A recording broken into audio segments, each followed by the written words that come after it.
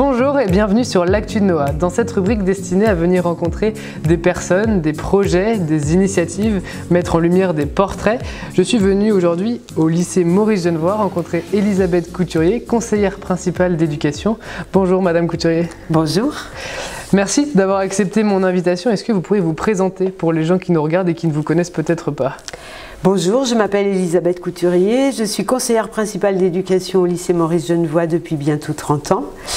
Euh, je suis mariée, maman de deux enfants. Je suis passionnée par les voyages, mais c'est un petit peu euh, compliqué depuis quelques années. Euh, je fais du sport. Je suis passionnée de lecture. Voilà pour me résumer. Et j'ai un boulot passionnant au milieu des élèves.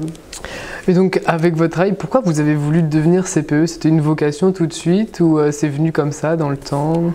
Non, pas exactement. Il se trouve que j'ai été surveillante lorsque j'étais jeune pour financer mes études et que j'ai découvert un peu le métier de CPE en n'imaginant pas qu'avec mon mètre 50 euh, je puisse faire ce métier parce que je pensais qu'il fallait imposer une autorité. C'est l'image que j'avais du CPE avec lequel je travaillais. Et puis le hasard a fait que j'ai été CPE. Euh, j'ai pensé que je ne ferais pas ça longtemps, que je serais peut-être enseignante ou que je ferais autre chose. Et finalement, je me suis prise au jeu. J'ai exercé dans un premier temps au lycée pilote innovant du Futuroscope. Et puis ensuite, je suis allée dans un lycée professionnel à Dreux, dans l'Eure-et-Loire. Et je suis arrivée au lycée Maurice Genevois, toujours en disant je ne ferai pas ça longtemps, je ferai autre chose. Et je suis toujours là et j'en suis ravie. Je me suis bien amusée. Et si vous avez dit euh, je resterai pas là longtemps si c'est pas indiscret, ça fait combien de temps que vous travaillez à Maurice Genevois Eh bien, ça doit faire 30 ou 31 ans. Ah oui, donc effectivement, c'est pas longtemps. Ah ben, quand même, quand même. Alors, par quelles études vous êtes passé du coup pour devenir CPE Alors, on peut passer par euh, pas mal de types d'études pour être CPE. Maintenant, on préconise le master MEF, métier de l'éducation et de la formation. Et puis, il faut avoir un concours. À mon époque, il suffisait d'avoir euh, un DESS, un diplôme de troisième cycle. Euh, non, une maîtrise, pardon, une maîtrise, c'est ancien.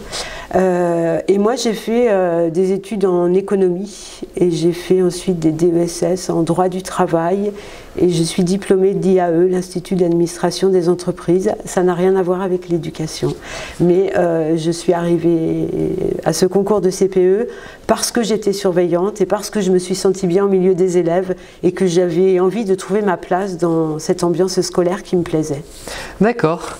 Alors dans le cadre de cette interview, j'ai réalisé un sondage auprès d'une centaine de personnes sur les réseaux sociaux, majoritairement des élèves, en leur demandant s'ils avaient plutôt un avis positif ou négatif des CPE. Alors 67% des élèves qui ont répondu au sondage ont plutôt un avis positif de votre métier. Pour eux, une CPE, c'est quelqu'un de très important, à l'écoute, qui est là pour nous aider à réussir et nous accompagner. Et les 31% d'élèves qui ont un avis négatif sur les CPE, pour eux, le métier rime avec heure de colle, convocation, autorité, problème. Est-ce que pour répondre aux élèves et ôter les clichés négatifs autour de votre métier, vous pouvez définir votre rôle au lycée? Merci pour cette question, c'est une belle question. Notre rôle, c'est en fait de vous mettre dans les meilleures situations d'apprentissage scolaire, mais aussi en termes de savoir-être. C'est-à-dire qu'on vous fait grandir, je le dis aux élèves de seconde, lorsqu'ils arrivent, ce sont des grands collégiens, et ils vont sortir, ils seront des jeunes lycéens, bacheliers, et euh, souvent, enfin la plupart d'entre eux, un certain nombre d'entre eux vont être euh, majeurs, c'est-à-dire euh, des citoyens à part entière. Et au-delà de l'aspect scolaire, ce, ce que l'on recherche, c'est votre épanouissement. Et donc, on met en place un certain nombre de choses et certains élèves passent à côté un certain nombre de choses qui sont de l'ordre de l'apprentissage de la citoyenneté. Donc, je vais parler de choses que tu connais, le CVL, le Conseil de la vie lycéenne, les délégués de classe, la maison des lycéens, des activités annexes qui ne sont pas spécialement scolaires, mais qui permettent aux élèves de, de, vivre ces années lycée comme des années d'expérimentation et d'apprentissage de la citoyenneté. Et des, des, investissements qui comptent aussi après pour Parcoursup dans leurs études supérieures à la sortie du lycée. On valorise tout ça. Nous, moi, ça ne m'intéresse pas de coller des élèves. Ça ne m'intéresse pas d'incarner l'autorité et je ne pense pas l'incarner. Euh, je suis là en guide, conseil, accompagnant et surtout pour valoriser euh, les engagements des élèves. Et on travaille beaucoup dans ce sens-là depuis, euh, depuis très longtemps. Donc en fait, le cliché de CPE méchant, euh, juste pour les heures de colle, c'est pas vraiment ça bah, pas pour moi et puis pas pour mes collègues autour de moi. Ça va faire 30 ans, du coup vous avez dit que vous êtes au lycée presque maintenant. Est-ce qu'en 30 ans vous avez des élèves qui vous ont marqué? Oui, bien sûr que oui. Bien sûr que oui. Euh, des parcours d'élèves où on se disait ah ça va pas marcher, ça va pas marcher et finalement ça a marché. Aujourd'hui j'ai reçu le témoignage d'une élève, je te montrerai après, euh, sur mon téléphone. Elle euh, termine sa licence, elle termine un cycle me dit-elle et elle dit le cycle précédent c'était le lycée et je vous remercie d'avoir cru en moi au lycée parce qu'en seconde c'était difficile, c'était compliqué et elle a eu son bac et euh, elle a fait un parcours, euh, voilà. Et je me dis, trois ans plus tard, elle m'envoie un petit message pour me remercier. Voilà. Donc ça, c'est pour moi, c'est émouvant. Et puis c'est, euh, voilà, c'est des élèves qui marquent, ouais, et qui nous, les élèves qui nous ont marqués par rapport à vos générations, ils nous donnent ben, l'envie et la motivation de continuer parce que ça a marché avec plein d'élèves. Mais du coup, les élèves qui vous ont marqué, eux, vous les avez aussi marqués si elles vous renvoient un SMS Sans doute. Sans doute, oui. Je crois que quelque part, dans son parcours, à un moment donné, j'ai été utile. Alors, parce qu'elle était en difficulté euh, en seconde. Mais après, il y a des élèves qui m'ont marqué. Bon, tu as connu Victorin. Je ne peux pas faire autrement que parler de Victorin.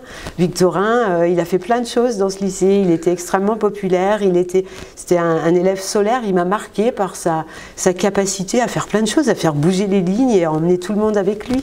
Je ne l'ai pas aidé spécialement.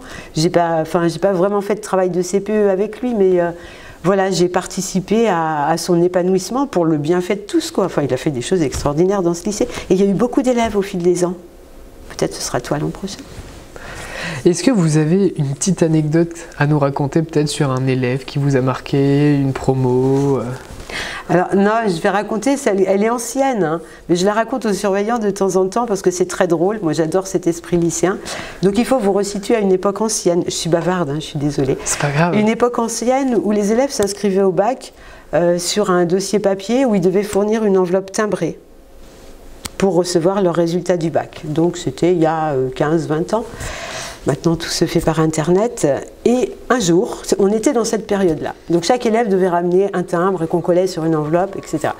Il y avait des élèves qui n'avaient pas de timbre, mais nous, on avait des timbres à la vie scolaire, on dépannait les élèves.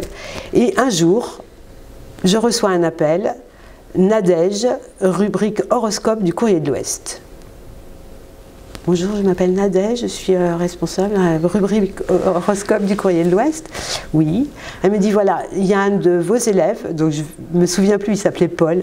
Un de vos élèves m'a écrit pour euh, dénoncer euh, le travail que je fais sur mon horoscope. Il m'a dit que ça ne correspondait pas du tout, mes prédictions ne correspondaient pas du tout à, sa situation. Et c'est un vraiment, je trouve ça scandaleux. c'est un vrai travail que je fais. je dis mais euh, elle me donne le nom de l'élève et elle me dit je vous demande de faire quelque chose, ok je ferai, euh, voilà. Ça y est, je me souviens de son nom de famille mais je ne le dirai pas. Et donc, ok, je raccroche, euh, je me dis, bon, qu'est-ce que je fais de ça?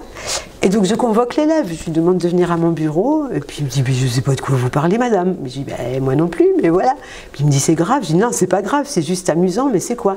Et en fait, il est allé renseigner et se renseigner autour de lui, et c'était ses copains, donc des internes. Hein. C'était une petite bande d'internes qui était rigolo comme tout ses copains qui avaient un timbre en trop à cause de ses inscriptions au bac et qui avaient voulu lui faire une, une blague et qui avaient écrit un adège rubrique horoscope du Courrier de l'Ouest. Et ça, c'est un beau souvenir, j'aime beaucoup.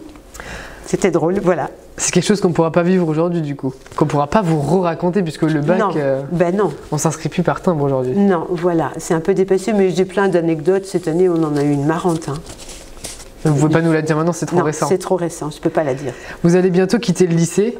Quel souvenir en particulier vous gardez de votre carrière? Un événement, une année, une promo d'élèves Non, pas de promo d'élèves, parce que moi, je ne vous vois pas avec des classes. Je ne suis pas comme un enseignant. Je vois de façon isolée ou en groupe CVL et tout. C'est pas vraiment des promos. Quoi qu'à l'internat, il y a des années où quand même qui nous ont marqués. Mais je sais pas, je peux pas faire le tri. Il y a, trop de choses et il y a trop de belles choses. Euh, le, souvenir que je garde, mais c'est chaque année, c'est les résultats du bac. Quand vous venez, que vous avez votre bac et que Beaucoup d'entre vous viennent et nous disent euh, J'étais quand même un peu con en seconde. Bah ouais, mais t'as bien grandi, bravo. voilà, c'est ça un peu le souvenir que j'aurai. Euh, ben, merci beaucoup, Madame Couturier. C'était un plaisir euh, pour moi de faire cette vidéo avec vous. Est-ce que vous avez un mot peut-être pour conclure? Eh bien écoute, je te félicite Noah, parce que je sais que tu es engagé dans la vie du lycée, tu es interne, et tu fais euh, ben, ça, cette interview, c'est quelque chose d'assez original, et moi j'adore quand les élèves euh, ben, se sentent bien dans le lycée et tentent de faire bouger les lignes. Donc bravo à toi Noah. Merci beaucoup. Merci à tous d'avoir suivi cette vidéo jusqu'au bout. Si elle vous a plu, n'hésitez pas à laisser un pouce bleu, un commentaire, me faire part de votre ressenti dans l'espace commentaire justement destiné à cet effet. Vous pouvez me retrouver sur Instagram et sur TikTok, noah Je vous souhaite une excellente journée. À bientôt.